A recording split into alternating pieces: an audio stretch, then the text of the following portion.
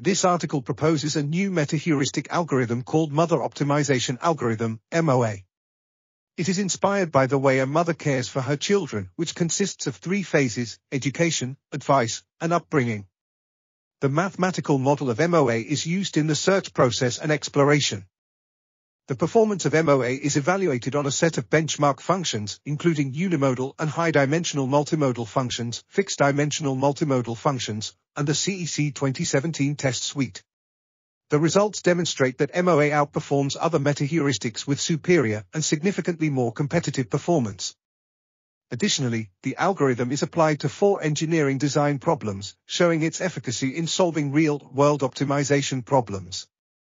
Statistical analysis shows that MOA has a significant statistical superiority over other well-known meta-heuristics.